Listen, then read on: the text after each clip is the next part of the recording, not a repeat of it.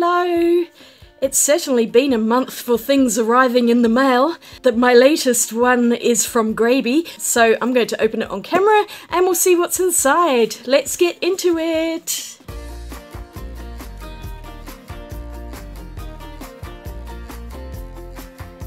Okay, finally got that open. So we have the usual card from Grabie, may the art be with you, and then the package itself. A very cute looking box. Grabie 12 watercolors, 12 vibrant colors, highly pigmented, high saturation, 100% non-toxic, easy to blend, terrific for travel, metal storage case and palette, perfect for artists of all levels. Okay, it actually includes some other stuff in here. Aside from the watercolors, there's also a travel brush and a round four, a watercolour pad with 12 sheets, a black graphic pen, woodless pencil, pencil sharpener, eraser, and travel pouch. Wow, that's pretty impressive to have in this fairly modest sized box. And of course, it's stuck down, so I shall fight with the scissors to get it open, and then we will look inside. And yes, Grabie sent this to me for free, but I'm not sponsored, so the opinions are my own. I do really like this cover art too, I think that's super pretty. Let's just pull it out. Well, that's so cute. Oh wow, there is all sorts of stuff in here. There is a pencil sharpener, an eraser, which looks a bit like it's got graphite on it already. That would be the fine liner pen. Well, that's really nice. A travel brush, that's an interesting shape. I don't think I've seen one like this before. That is really nice. I like that a lot. And this is such a handy size to have for travel. What else is in here?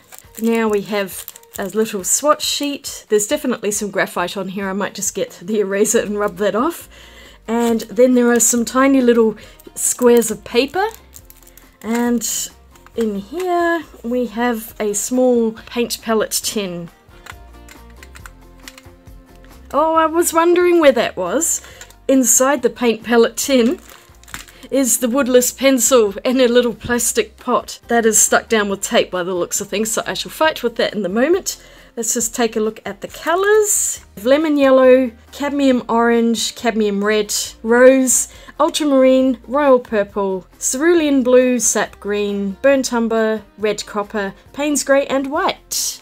So a fairly standard palette for 12 colours. I will take a look at that in the moment. I'm just going to sort myself out and see if I can get this woodless pencil out of the case. The tape is peeled off, leaving all of the sticky behind on the thing. That's so annoying. I'm going to have to get some alcohol or something just to wipe that off because that's really sticky and yucky.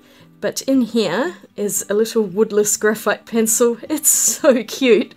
What a great idea putting it in a small container like that. So here's everything that came in this little bag. I'm actually pretty impressed by that. It is a genuine travel set in that it has a pencil, a sharpener, an eraser, a brush, and a pen, along with the paints and some paper. I think that it's just so cool, and I like that it comes in a nice little bag so you can just stick everything in together and it's easily portable. I like this a lot already. I haven't even tested the colours yet, but just the concept of it is fantastic. They have put a lot of thought into the kinds of things that one might want when travelling. I mean, obviously, you might want to have your own size sketchbook or things like that, but I do like when they add some extra paper in and you could do some tiny little travel paintings. Let's see if this eraser works on this card. There's quite a lot of pencil markage on here, so I'm just going to use the eraser. Yeah, that works pretty well, actually. That's better, I've taken off as much pencil as I can, and I was just thinking that the only thing this set does not have is a water pot for this brush, because this is not a water brush, which looks like this and you carry the water with you, but I do actually prefer travel brushes like this. For some reason they just are nicer to use, and so I would recommend putting in some sort of water pot. Do you think I can find a travel one in my studio at the moment? I've just got stuff everywhere and I'm not seeing one, but I've got this little container, this will do for now. There we go, I've cleaned that up with some rubbing alcohol, so that is a lot less sticky now. and I guess I'll test out this pencil sharpener while I'm at it, because I think mine has snapped a little bit on the end there of that woodless pencil. So Oh yeah, that's gonna sharpen. I think I need my bin because I've already dropped it all over the desk. Joy! there we go, that's a bit better. It's still not fully sharp because it is going to take quite a while. This is a very long angled sharpener, so it's going to make a very long point, I think. But I just really want to swatch these colours out. I'm getting distracted by so many things on this table because I guess that's the main thing to test out. What are the watercolours going to be like? I also remembered to test the pen, and yes, that is waterproof ink. So let's start with the first one here, lemon yellow. Nice and bright, it reactivated easily with water, as did most of the other colours like this cadmium orange. The only one that was a little bit of a struggle was the cadmium red.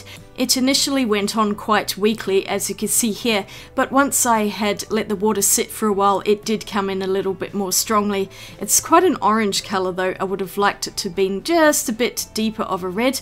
The rose is really pretty, it's a gorgeous pink, I like that one a lot. And then we have ultramarine next to it, and beside that royal purple. Really, the royal purple should be sitting next to the rose and then the ultramarine, but I just swatched it out as it was on the card, and yes, that does bother me greatly having them out of order. I like the cerulean blue, a nice bright one for the sky. Sap green was a bit too bright, I would call that more of a May green. It's a pretty colour though, but I really wish there was a dark green next to it. We have burnt umber instead, which is perfectly fine, and then this red copper, which is like a burnt sienna, looks a lot like the cadmium red. Payne's Grey I think is a great addition to this, it's a nice bluey black, I really like that. And the white, as suspected, is not very opaque at all despite my best efforts. I wish that was dark green. Well, now that they're mostly dry, they're actually looking pretty good. I thought they were going to be a little bit more chalky than they actually are once they've dried, so I'm pleased about that. The white isn't exactly very good as I suspected, but it might be okay to mix into others to make slightly more pastel colours. I really wish that purple and ultramarine were the other way around. Oh, it's going to drive me nuts. But aside from that, the palette's okay, maybe a few too many kind of orangey colours, it feels like, but I'll make it work. So I guess for the real test we need to do some painting, and I might actually go outside and use this as a travel palette. So yes, I actually went outside. It was a nice day for a change, so I drove down to one of the local parks and I just had a wander around trying to decide where to go. I thought about painting this cockatoo. It was sitting there posing so well. Oh, never mind. I think I might set up here because it's really pretty just looking out over these trees and the garden beds. It's also in the shade under a tree because I forgot to wear sunscreen and the sun she burns. There's also a whole load of ravens making a racket, I don't know if you can hear those. And there's traffic noise, there's people everywhere. Ah, the fun of painting outdoors. And the wind's really picked up too, but I'm going to do a painting outside. I'm determined to. I have a whole bunch of people watching me right now. It's really embarrassing. well, this little flask has been excellent. Here we go, I've snapped a quick photo so you can see what I was trying to paint. I narrowed it down to a smaller area because I only have a tiny piece of paper here, and now we are over to Lapcam. I could have sat on one of the picnic tables, but I decided to go for the park bench instead because sometimes there is no table, and I wanted to share the experience using only this kit and no other equipment like pochade boxes or drawing boards. I don't even have a pochade box anyway, those things are so expensive. But here I am sketching the scene in with that woodless pencil and using the eraser to rub out any mistakes that I made along the way. You could probably see that the paper is quite textured, so I only used the pencil to draw on a really basic sketch and then I'm going to use the pen here to go over everything and turn this into a line and wash painting. Sometimes I might sketch straight with the pen without using a pencil, but I wanted to try and use everything in the kit to see how they'd work together. And if you're starting out, you're probably going to draw with a pencil anyway. I have not done any plein air artwork for a long time, so I was really rusty, and using a pencil just helped me get back into the swing of things, build up my confidence again. Most of my art seems to be in the studio these days, so I'd really like to do more plein air or urban sketching because it is really fun. The only thing is that you are at the mercy of the elements, and while it was a sunny day, the wind had picked up, so you could probably see my camera shaking a little bit now and then. It was really cold, so I hurried through this as quickly as I could because, of course, I didn't bring a jumper or anything like that. I was only in a thin t shirt. But I guess that's one way to not spend too long on a painting. I think all up I was there for about 40 minutes. Next to my paint box on the right hand side, that other white box is my portable UniQ filming stand. It holds my phone and it also has a light, but I was just using natural light here. That thing is paid for itself. It is so great for filming on the go, and you can see the sun dappling through the trees there onto my picture. I also had a pot of water on the bench beside me I really liked the travel brush. It is nice and sturdy. There was no wobbling at all. Sometimes the connections when you screw it together are not good, but this one was excellent. And I found that all of the paints worked pretty well together. I was able to make a lighter pink with the white, but that was about the only time I used it. I also mixed up some slightly darker greens with the sap green, ultramarine, and a bit of brown as well to tone it down and make it more of a natural looking green colour. So the mixing capabilities of the set are actually pretty good, and I like that purple colour too. That was perfect for those lavender looking flowers in the garden bed. The brownie red colour is a bit too orange. I would have liked that to have been more earthy. The paper was alright. It's a 300 GSM cellulose, I think, and I'm not really a big fan of cellulose paper, but when it's small like this, there's no real issue. I think this would be about an A6 size pad and it held the watercolour well without buckling, so that's always a good thing. I guess I'd classify the paints as a nice level student grade. They did start to take on a gouache-like consistency once the pans had been soaking in water for a while, and it kind of lifted off really easily in chunks, so I will show that near the end of the video. But I'll just finish up with this painting. I did go a little bit from imagination just to add in a bit more blue than was actually visible from what I was looking at, but I just wanted to have some nice blue sky. I added in some darker shadows just to try and create some more value tones to the painting. Most of the colours are pretty much in the mid-tone range, but that Payne's Grey is nice and dark, and that did pretty well mixing in with other colours just to deepen them a bit, and I was able to get some kind of shadow going on. It really is just a little sketch. I was very cold, there was lots of wind, there were people constantly walking by, and I even had one lovely lady come up and chat to me for a while, asking to see what I was doing. Oh gosh, that's always so difficult for me. I'm such an introvert and I always feel really self conscious making art in public. But it was a fun experience and I did enjoy being outside. I'm glad I did it.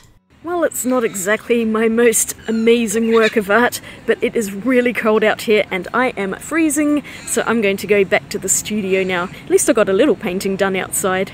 Oh, it's so much warmer in the car. I'm slowly thawing out. and I'm back in the studio after my little outing. That was completely unplanned, totally spur of the moment. I just decided to go out and do something outside since it is a travel set. I'm really glad I did though. It was fun getting out and painting outside, and I really hope I can do more of this. Today I just grabbed this lot and chucked it into my handbag and went, so that was okay. So I think I'm going to call it done today for artworks. I feel pretty satisfied that I know how the paints and everything have behaved. So I'll just finish up with a few conclusions. So, what I like about this set, I think this is a really cute drawstring bag, and this went into my handbag very easily because inside it also has the pad of paper that came with it, and theoretically this will also fit. It's a little water brush. I managed to shove that in too. the only thing the set does not come with is some kind of container for water, so I did have to carry an extra one. The swatch card I really like. It's always great to have one of those in the set and you don't have to make your own one. The pen was quite nice, and I have no issues with that. It's also waterproof, so that is always great. I think my favourite thing is this brush. It's really fantastic. It's quite solid and it's nicely built so that when it goes together, it doesn't wobble at all. It's really solid and I think that is excellent quality. The brush itself holds quite a lot of water and no issues whatsoever with that. This little container does not screw together, I've noticed, but it does just keep the pencil inside and protect it a little bit. I think it's a great idea having this little woodless pencil. You could probably also fit in one of those little IKEA pencils or something like that, so there are a few different solutions for carrying a pencil, and it's great that it fits inside the paint tin. As for the paints themselves, they're okay, they're not the most amazing things in the world, but they worked well enough. This white I would ditch and replace it with a dark green because I always use dark greens when going outside. That would just be the one thing I would change. I think the other colours are quite nice though and they work well as a palette. Maybe a dark brown, but I was able to mix a dark brown with the Payne's Grey and the burnt umber, so not too fussed about that. And you can of course take the half pans out and put in your own ones, so these are always versatile for chopping and changing. Usually if you don't want to keep the pencil in there, you can put in another row of half pans and stick them down if you wanted to add more colours. The only thing is that the paint does turn into a gouache-like consistency when the water's been sitting on it for a while. I'm not sure if you could see that, if I've just got my water brush here with some water in it. What it does is it kind of lifts it in chunks, if, if you could see that there. And yeah, it's takes a little bit of mixing so it is actually better to lift some off and mix it onto the side of the pan so that you can get a much smoother watercolour finish. It's just something which happens with paints that maybe aren't professional grade, they're more in the student grade kind of level. These are pretty decent paints, you know, they'll work in a pinch and of course you can add your own colours if these ones aren't working for you. So overall, as a set, I think it's really great. I like that almost everything you need is included except for the water pot, and the fact that you could give this as a gift to someone and they can go out and do some painting immediately, along with having a pencil, eraser, pen, and a nice brush, I just think that is really excellent. I would be very happy if someone gave this to me as a gift. In fact, Grabie kind of did, so I am really happy. and I will definitely use this. I think it's just great to chuck it in my handbag and it can be super portable. So I really hope you enjoyed this video. I hope it was helpful. I've included links in the description below if you want to check the set out for yourself. I think I've got a 15% off coupon code there as well. So let me know in the comments what you think. Is it a set that you'd enjoy using? Because I'm always curious to hear what you might add in a little travel set. And if you enjoyed this video, don't forget to give it a thumbs up and click that subscribe button. Thank you all so much for watching, and I'll see you all again really soon in my next video. Swatch you later. Bye!